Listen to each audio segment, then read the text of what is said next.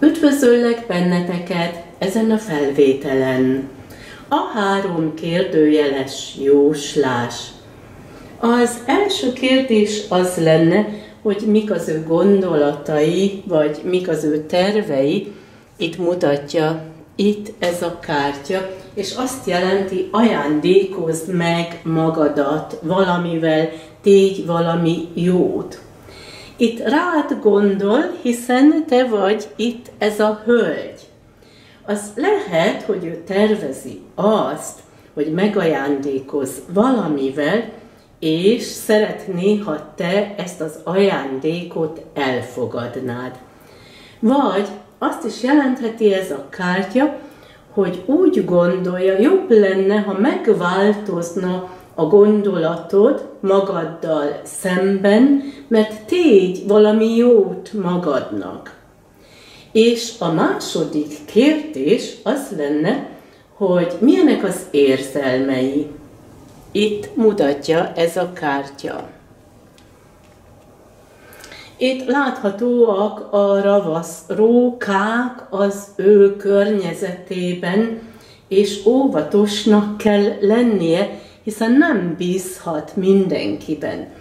És a kártya azt közli vele, amit ő érez, hogy el kell búcsúznia ebből a helyz, ettől a helyzettől, ez lehet egy munkahelyi változás, egy lakhely változás, de ahogy ő érzi, le kell, hogy zárjon bizonyos kapcsolatokat, hiszen ez nem tesz jót neki.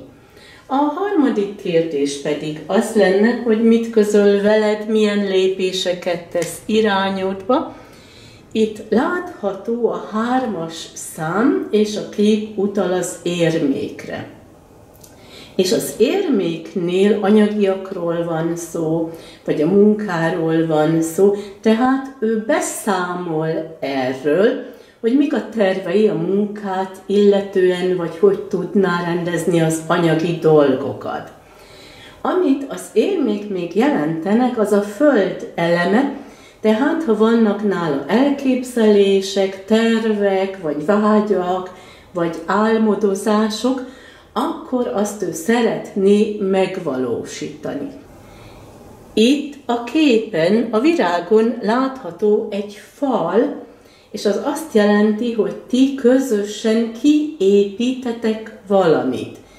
A madarak jelentik a levegő elemét, a könnyűséget, a kommunikációt, tehát ők közeledik hozzád, beszélni akar veled, sőt, lehet, hogy téged megajándékoz valamivel, és itt kiépül valami, kivirágszik valami és a napi kártya, a napi energia, a csokis kártyacsomagból, itt van egy ilyen szívdoppanás, tehát itt tényleg szerelemről van szó.